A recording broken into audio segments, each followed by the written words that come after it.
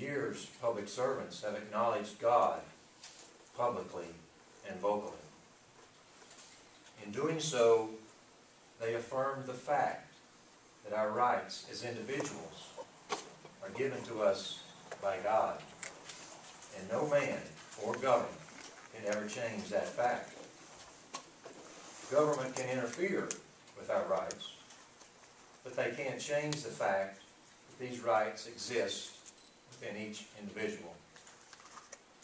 The role of the government was to secure and defend these rights.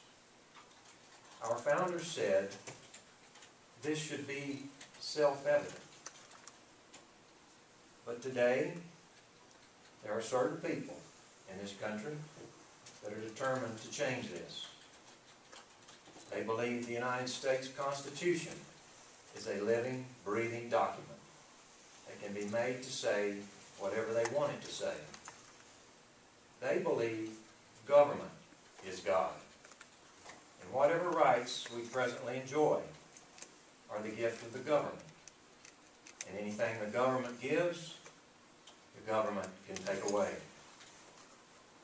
So the prayer issue, on one level, is ultimately about freedom and whether or not we will be continued be blessed with it.